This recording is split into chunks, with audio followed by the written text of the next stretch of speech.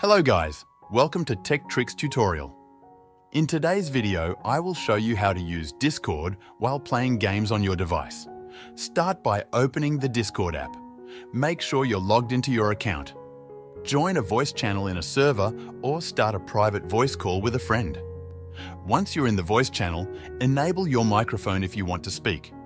You can do this by tapping the microphone icon to unmute yourself. Now, switch to the game you want to play. Discord will keep running in the background and you'll still be connected to the voice channel. You can hear your friends and talk to them while playing. If you need to adjust your voice settings, return to the Discord app, tap on your profile picture in the bottom right corner and go to Voice and Video settings. Here, you can enable features like Push to Talk or adjust the microphone sensitivity. For Push to Talk, assign a button that you'll press whenever you want to speak. That's how you use Discord while playing games. Thanks for watching this tutorial.